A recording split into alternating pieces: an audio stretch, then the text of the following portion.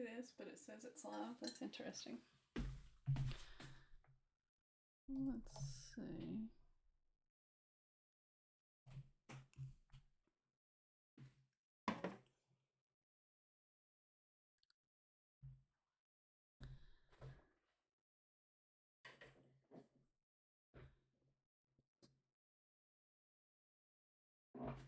Good morning, friends. Wasn't sure that we were live there for a second, but it appears we're live now. So, hey, happy Monday. Um, big happy birthday shout out to a couple people today. It is Miss Linda's birthday that joins us for chapel every day. We love you, Miss Linda. Happy birthday. I hope your day is fantastic. Um, happy birthday to Greenlee Reef. My girl's 17 today. So, happy birthday, Greenlee. I know she's not going to watch, but her siblings are. And so, um, y'all tell her we gave her a shout out on chapel. All right, so let's get started with our pledges. Let's see. Make sure you're putting your prayer request in the comments, right? Because we're going to be praying in just a minute. Got a special guest coming in today. You're going to be excited. So, everybody standing nice and tall, make sure you send me a hello in the comments so I know that you're watching live. You ready? Attention. Oh, no slouching. Stand up. Come on. Attention. Salute. Pledge. I pledge allegiance to the flag of the United States of America and to the republic for which it stands, one nation, under God, indivisible, with liberty and justice for all. Good job, guys. All right. Good morning, Juliana and Colleen. Oh, and there's the Trits. Good morning, everybody. Happy Monday. All right, Christian flag. Everybody standing nice and tall. Sully, shoulders back, buddy. Come on. Attention, salute, pledge. I pledge allegiance to the Christian flag and to the Savior for whose kingdom it stands.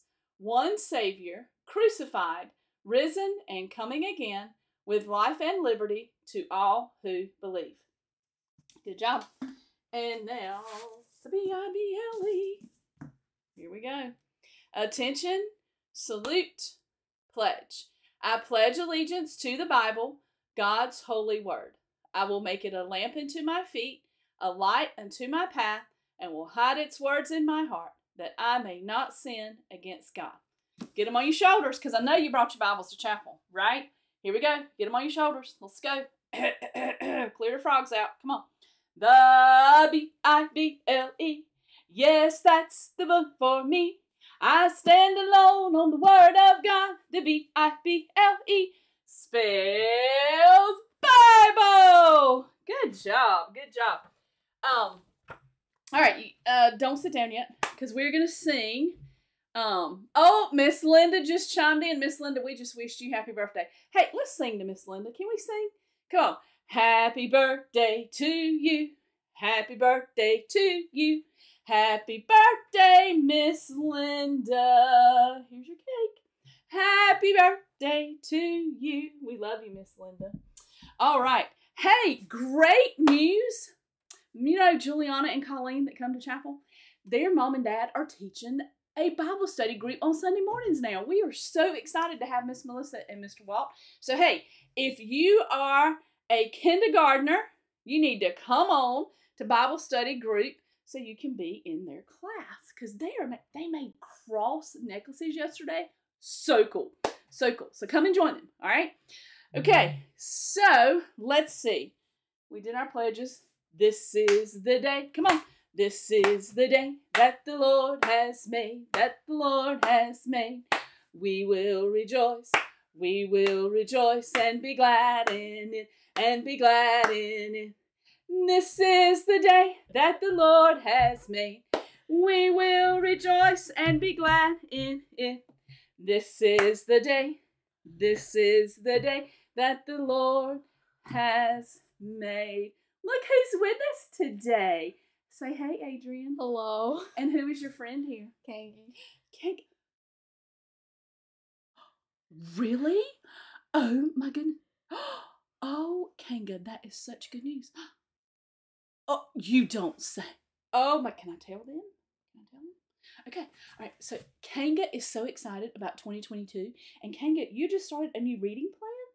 Yeah, and she's reading in Genesis. And now tell me, are you reading it to your bunny friend here? Oh my. What a good friend. I am so proud of you for sharing the good news of Jesus with your friend. That is so sweet, Kanga. Oh my goodness. Thank you for being a good friend. All right, you go sit and listen to our Bible story now, okay? Adrian, thank you for bringing Kanga for us today. Don't step on the cords when you go out. Be careful. Wasn't that so nice of Adrian to bring Kanga? Oh my goodness. I'm so thankful they were here. Just so thankful. All right, so let's get started with the days of the week because we got to do our calendar, right? Otherwise, Miss Kim would go on all day going, What day is today? Mm, what day is today? I need us to do our calendar because you know I'm getting up. Y'all know I'm half a century this month. Did y'all know that? This month, I'm going to be half a century. It's crazy. Right, Miss Linda? Mm-hmm. All right, here we go. Days of the week. Days of the week. Days of the week. Days of the week. Days of the week. There's Sunday and there's Monday. There's Tuesday and there's Wednesday. There's Thursday and there's Friday. There's even Saturday. Days of the week. Days of the week. Days of the week. Days of the week. Days of the week. All right. So now, right here is where we are. We need to count. Are you ready? Come on, guys. Count with me. One, two, three, four, five, six, seven, eight, nine, ten. That's right. We need a ten. We need a double digit. A double digit. Woo!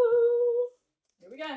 There's our double digit. So it is Monday, January 10th. What's our year? 2022. Woohoo! Good job. All right, so over here, our days of the week. Today is Monday. Now, if today is Monday, what is tomorrow? Tuesday. That's right. Good job, guys. Way to pay attention. All right, and if today is Monday, what was yesterday? Sunday. That's right. It was Sunday, and we had such a good time in kids' worship yesterday, didn't we? Mm-hmm. Learning all about the Ten Commandments. Remember the first one? Yay, God. No idols. Remember, we learned all those yesterday? Such a good time. All right, let's see. We're going to continue learning those in kids' worship for the next, I think, 11 weeks. We're focusing on the Ten Commandments. It's going to be amazing. Um, number one, go God. All right, so let's see. We've done the calendar. Oh, weather. Hold on. The girls sent me a message. Let's see. What did you girls say? Cloudy and cold. So we're going to take down the sunny, right? And we're going to put up our cloudy sign.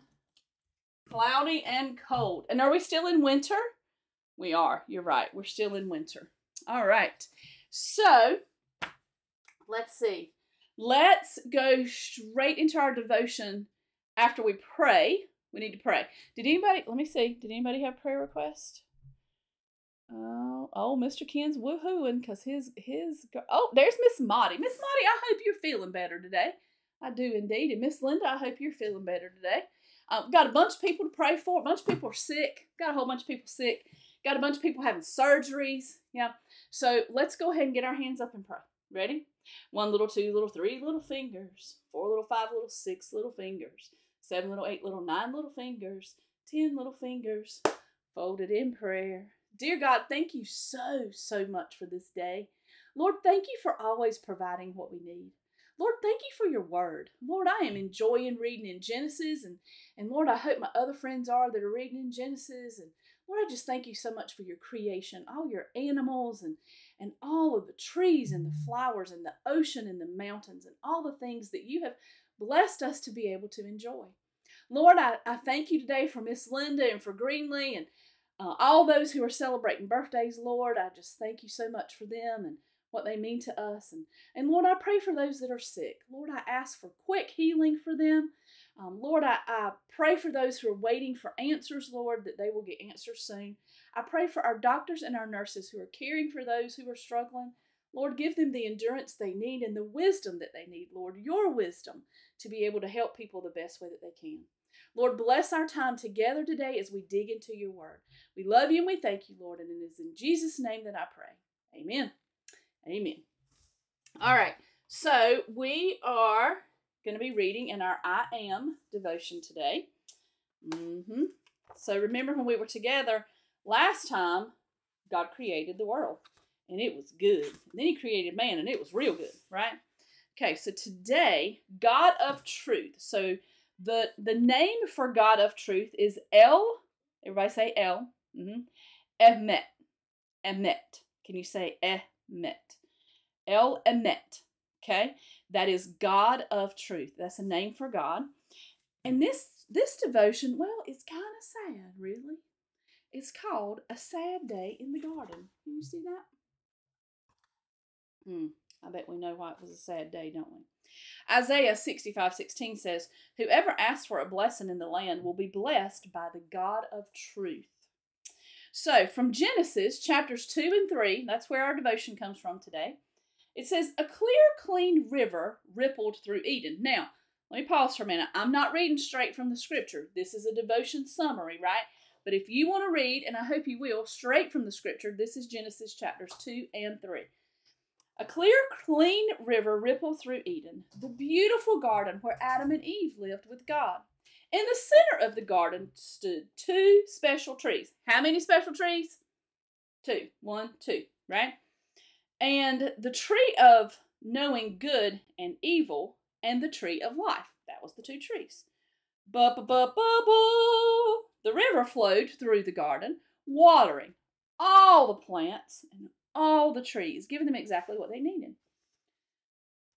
You may eat from every tree in the garden except except the tree of knowing good and evil. God told Adam. Do not eat from that tree, or you will die. That sounds like a pretty clear instruction, doesn't it? Now, God, you know, there's this enemy to God and to us, right? And that enemy did not like Adam and Eve and that they were following God. So one day, the enemy came to Eve disguised as a sneaky little snake a very sneaky, sneaky snake. We did an SBA song about that one time. Y'all remember that? Sin messed everything up, everything up. Oh no! Remember that song from SBA? He was a sneaky little snake in a sneaky little way. Mm, yeah. Did God really tell you not to eat from any tree in the garden? The snake asked. Look at him. Look at him being all sneaky.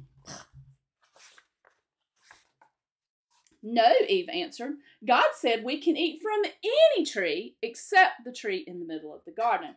If we eat from it, we will die. you won't die, lied the snake. Did you hear me say lied? He was a lion, still is. Lion, sneaky, horrible. You'll be like God. You know about good and evil, that's all. Mean old snake. Well, you know what? Eve listened to that snake and she gazed at that fruit on the tree. Mmm. Mm, that fruit looked so good. It looks so good. Oh, and it's so pretty, and, and it can make me as wise as God. you know what she did? It's terrible, y'all. She decided to believe that old sneaky lion snake. She believed what he said instead of what God told her. Now, what is truth? God is truth, right? God always tells us the truth. She chose to listen to that sneaky old snake and his lies. So she reached for a piece of the fruit and she took a bite. Then she said, Adam, oh, Adam, here, it's so good, have some. He ate the fruit too. Mm. They chewed it up. They swallowed it. And then they looked at each other. And you know what they said? We've made a big mistake. We should have believed God's words. They wanted to hide later in the day when they heard God walking in the garden. Because remember, in the Garden of Eden, they were walking with God, like in His presence, right? You know what they did? They ran away But God knew where they were, you see, because God knows everything. Can we hide from God? Never. He knew what they had done. So he called them and he asked, Did you do what I told you not to do? Eve gave me the fruit and I ate it, Adam said. Of course, throwing Eve right on under the struggle bus, right? The snake lied to me about the fruit and I ate it, Eve said. So let's see now. When we do something that God tells us we shouldn't do, or when we don't do something that God tells us we should do, what, what is that called? Anything we say, think, or do that is not pleasing to God is called a what? A sin. That's right. And Satan wants us to sin. He wants us to be against God. And that's exactly what he tricked them into doing. Oh, his old lies. Oh, such a liar. So, because Adam and Eve had disobeyed God, they could no longer live in that beautiful garden. They could no longer live in the presence of God. Someday they would die. God's words were true because God cannot lie. You have done what I told you not to do, God said, and now you must leave this beautiful garden. Oh, God punished that old sneaky snake too. He said, You will crawl on your belly from now on. But let me ask you this Did God stop loving Adam and Eve? Oh no. God still loved Adam and Eve. He made new clothes for them before they left the garden, and He had a plan ready. See, He already had a plan. Because did God know what was going to happen? See, nothing surprises God. Nothing. And He knew what was going to happen. One day, He would send someone, that someone with a capital S, because every time we refer to Jesus, it's with a capital letter, right? He would send someone to make things right again. So, now what does all this mean? Let's talk about what it means. You see, some games and toys use play money that doesn't look real, right? Like Monopoly or some of your board games that has pretend money. If you want to buy something at the store, can you use that play money? Well, no, they would laugh at you and say, We can't take that money. You need real money. But look, some fake, some fake money looks really real. And people may try to use it and they might get away with it. Stores need to know if money is real or fake. So, cashiers practice feeling of real dollar bills. They learn about the smell. By the way, it's kind of smelly. They learn about the small special markings on the real dollars. And when they recognize real money, then they can spot fake money too, because it's different. One of God's names is God of Truth. In the Bible, God tells us what is real and true, right? The Bible tells us everything that's true. The world tells us all these things that are lies and are not true. The Bible tells us truth. That's right. He tells us what's true about himself and about people and about the world. When we know and believe God's words, which are true, then you know what we can do? Just like those cashiers, we can recognize what is not real. We can recognize what is fake because they're different. See, truth and fake, they're not the same. They are different.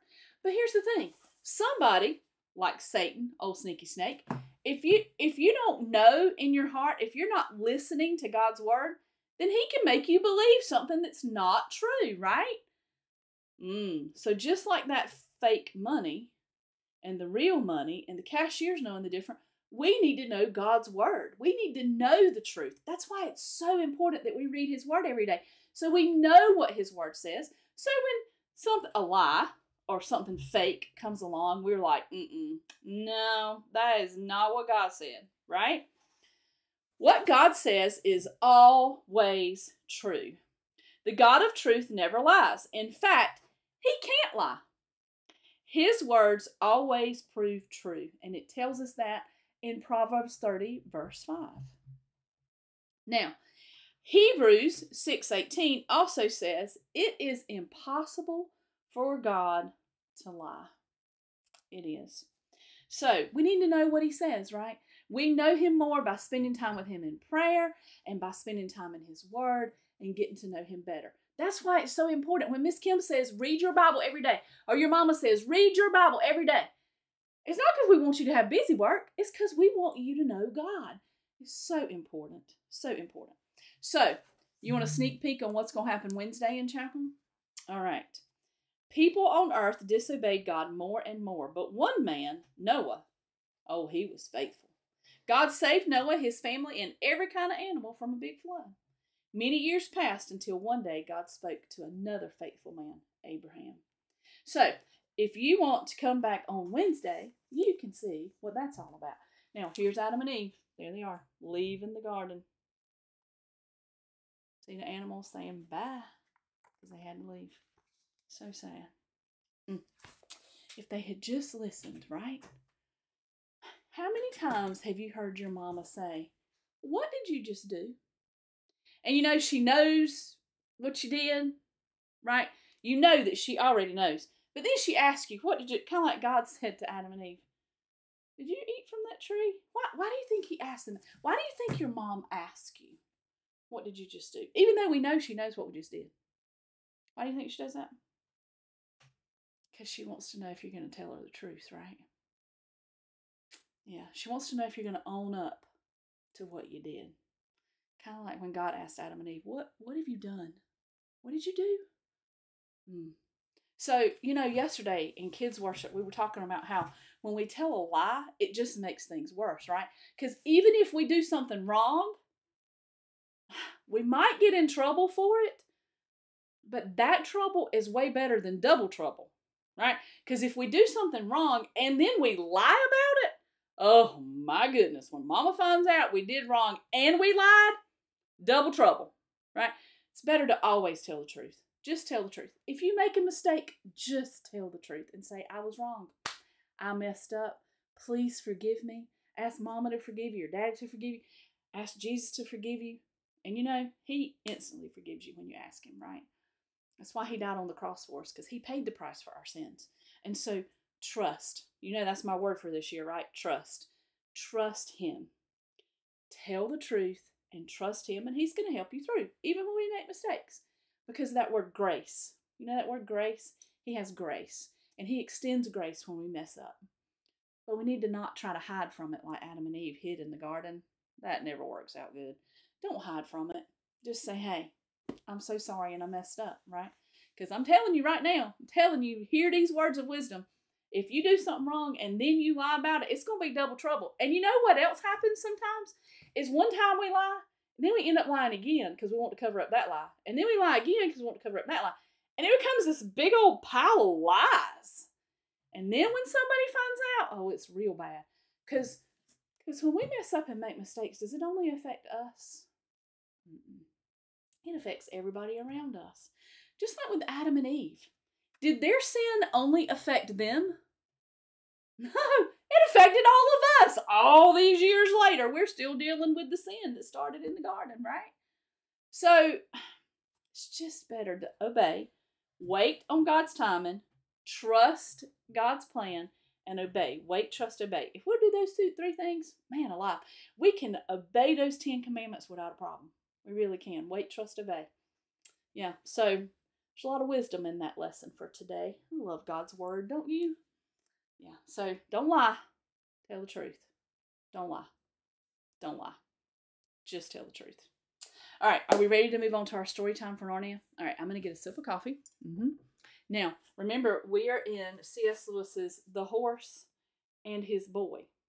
The Horse and His Boy? How does that work? Hmm. Not the boy and his horse, but the horse and his boy. Now remember, is this a true story like the Bible? No. This is a story that C.S. Lewis made up, and, and it helps us to be able to relate. Now, we only read halfway through this chapter last time because remember, somebody pulled in and Bailey was going crazy, and it's a long, long chapter. It's chapter three at the gates of Tashbaan. So we're going to pick up where we left off. So have you got your listening ears on? You ready to hear your story today? All right, here we go. Everybody get still, get settled, get the wiggles gone. Turn the listening ears on. Here we go. Let's see. We both pray and charge you to come hither as speedily as you may, that we may be delighted with your face and speech, and also that you may bring with you the dowry of my wife, which, by reason of my great charges and expenses, I require without delay. And because thou and I are brothers, I assure myself that you will not be angered by the haste of my marriage, which is wholly occasioned by the great love I bear your daughter, and I commit you to the care of all the gods. As soon as I had done this, I rode on in all the haste from Azim Balda, fearing no pursuit and expecting that my father, having received such a letter, would send message to Ahoshta or go to him himself. Now remember what's happening here, right?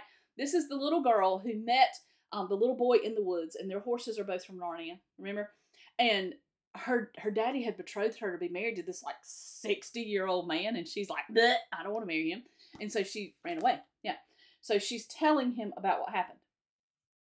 Um, and that is the the pith of my story until this very night when I was chased by lions and met you at the swimming of the salt water.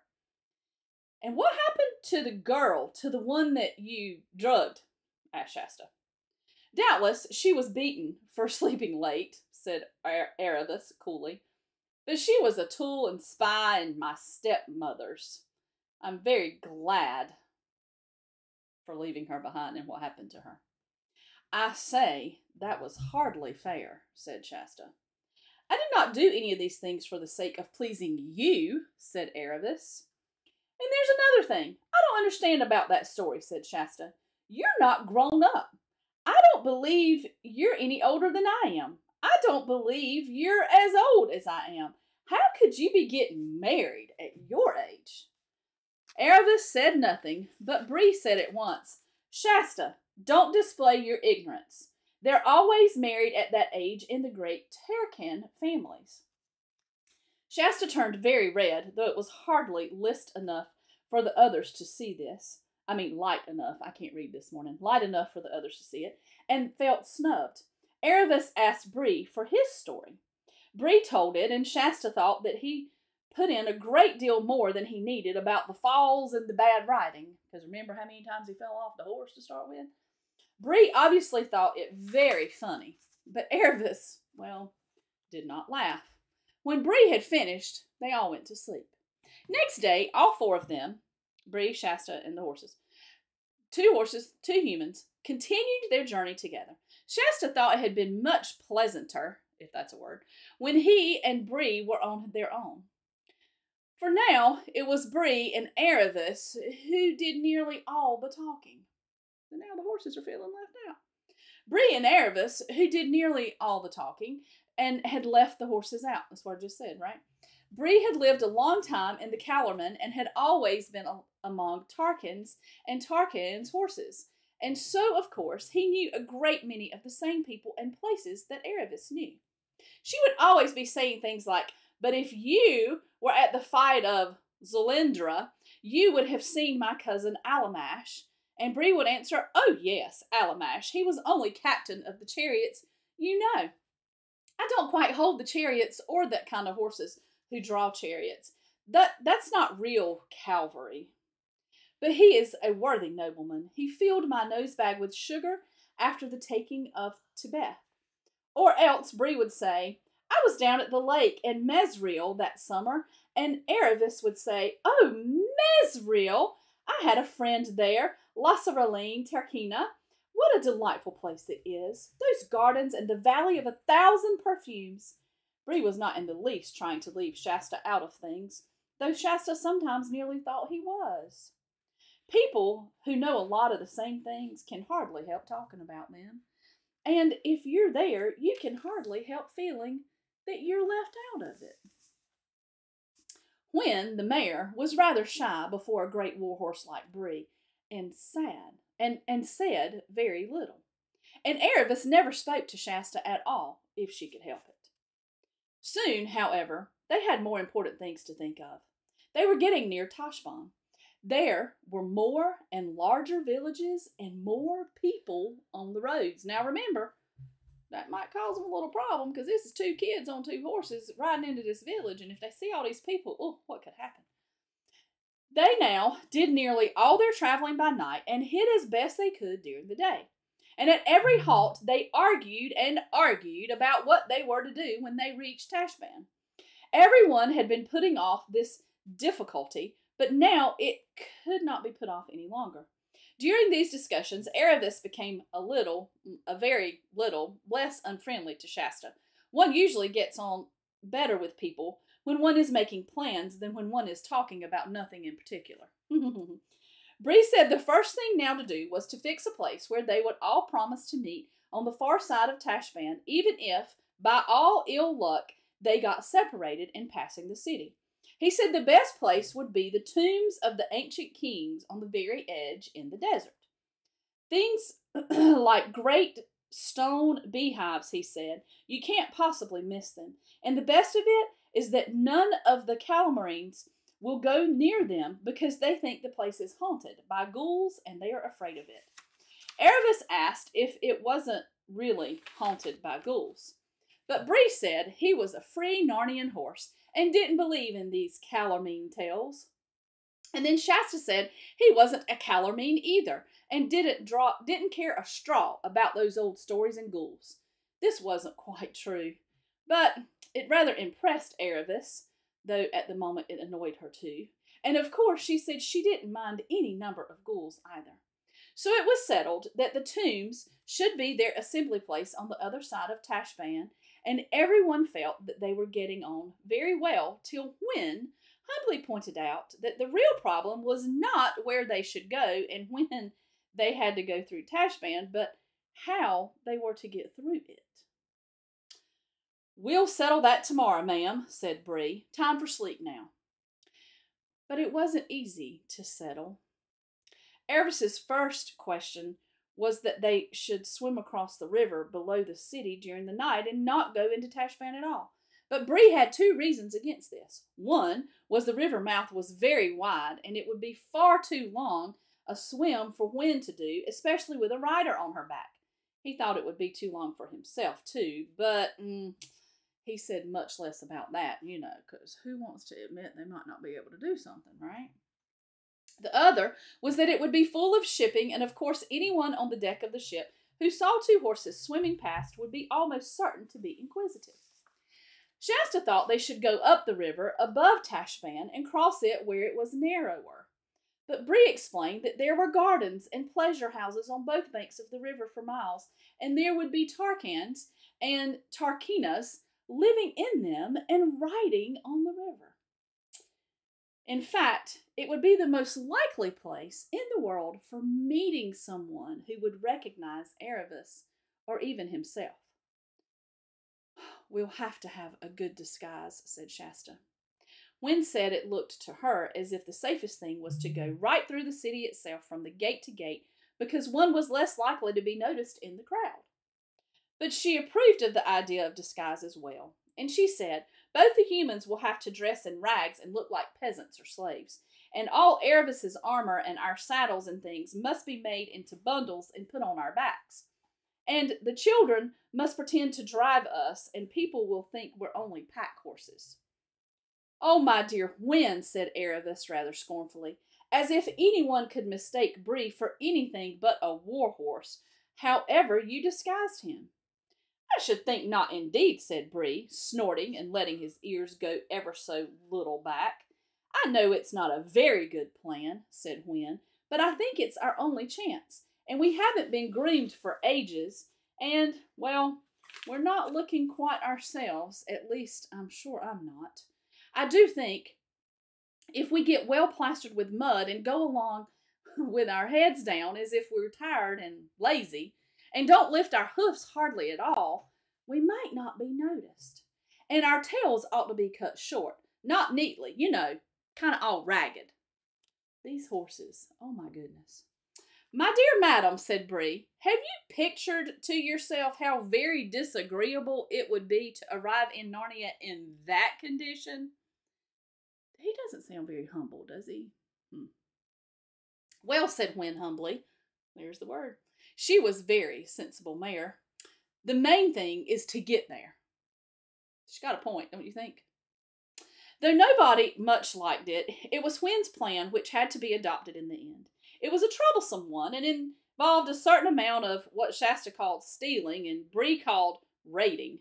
One farm lost a few sacks that evening, and another lost a coil of rope the next, but some tattered old boy's clothes for Aravis to wear had to be fairly bought and paid for in the village. Shasta returned with them in triumph just as evening was closing in. The others were waiting for him among the trees at the front of a low range of wooded hills which lay right across their path. Everyone was feeling excited because this was the last hill. When they reached the ridge at the top, they would be looking down on Tashbaan. I do wish we were safely past it, muttered Shasta to Hwin. Oh, I do, I do, said Hwin fervently. That night, they wound their way through the woods, up the ridge, by the woodcutter's track. And when they came out of the woods at the top, they could see thousands of lights in the valley down below them. Shasta had no notion of what a great city would be like, and it frightened him.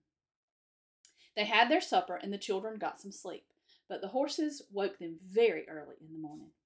The stars were still out, and the grass was terribly cold and wet, but daybreak was just beginning, far to the right across the sea. Aravis went a few steps away into the wood and came back looking odd in her new ragged clothes and carrying her real ones in a bundle. These and her armor and, and shield and um, scimitar and the two saddles and the rest of the horse's fine furnishings were put into sacks. Bree and Hwin had already got themselves as dirty and bedraggled as they could, and it remained to shorten their tails. As the only tool for doing this was Aravis's scimitar, one of the packs had to be undone again in order to get it out, and it was a longish job and rather hurt the horses. My word, said Bree, if I wasn't a talking horse, what a lovely kick in the face I could give you. I thought you were going to cut it, not pull it out. That's what it feels like. Can you imagine this horse talking to them? Oh my goodness. But in spite of the semi darkness and cold fingers, all was done in the end, and the big packs bound on the horses, the rope halters, which they were now wearing instead of bridles and reins, in the children's hands, and the journey began. Remember, said Bree, keep together if we possibly can. If not, meet at the tombs of the ancient kings, and whoever gets there first must wait for the others. And remember, said Shasta, don't you two horses forget yourselves and start talking, whatever happens. Oh my goodness, do you think they're going to make it through without being noticed? I don't know. We'll have to see on Wednesday. So let's look at our Narnia biblical truths for chapter 3. Let's see. Where's a horse and his boy? One, two, three. All right, chapter 3. 1 Corinthians 8 2 says, The man who thinks he knows something does not yet know as he ought to know. Hmm. Does that sound familiar to some of that we were reading about how one horse thought they knew more than the other and one kid thought they knew more than the other? Hmm. It's a valuable, valuable scripture. So here are our biblical parallels. Aravis describes her daring escape from an arranged marriage in a very matter of fact way. It doesn't occur to her to think of her behavior in terms of right or wrong. She knows she shows no concern for how her actions may affect others or the consequences might result. She will soon learn the truth of Proverbs 21 2. All a man's ways seem right to him, but the Lord weighs the heart. Hmm. Biblical parallel 2. It becomes clear that Bree is quite full of himself, his accomplishments, his experience, his wisdom. Bree's self focus makes him insensitive to others' feelings, especially Shasta's. Romans chapter 12, verse 3 warns, Do not think of yourself more highly than you ought. And 1 Peter 3 8 says, Live in harmony with one another. Be sympathetic. Love as brothers. Be compassionate and humble. Wow. They could learn a lot from that, couldn't they? Mm. All right, parallel number three. In his concern over his appearance, Bree loses sight of what is truly important reaching their destination. It is Hwin who reminds her companion that the main thing is to get there. In contrast to Bree, Hwin demonstrates the unfading beauty of a gentle and quiet spirit which is of great worth in God's sight. That's 1 Peter 3 4. She consistently models a humble heart. Proverbs 11 2 tells us that with humility comes wisdom. And here's our last parallel. As the chapter closes, all four of the travelers have come to realize the truth of Proverbs chapter 13, verse 10. Pride only breeds quarrels, but wisdom is found in those who take advice. Oh, that is such good wisdom. That is such good advice to listen to. Pride only breeds quarrels. Listen, when we are prideful, it's, it's just not going to work out good in our relationships because it's going to breed quarrels, just like the passage says. Is the Bible true? Yes. And if it's telling us right here that's what pride does, we should be cautious of that, shouldn't we? Just like them in that book. All right, so here's your challenge. You ready? Like Hwin with Aravis, the Bible tells of a time when an animal spoke up and stopped someone from making a terrible mistake. Do you remember this story in the Bible? Hmm. You ready for your hint? You better be paying attention. Numbers chapter 22, verses 1 to uh, verses 21 to 34. Numbers 22, 21 to 34. You can read that story there. There's your hint. So if you go read it and you get somebody to message or video and Marco Polo me or send it in a text or direct message on Facebook, however, if you can tell me what that story was where an animal spoke up to stop someone from doing a terrible thing, then you know I'll send you a prize in the mail, right?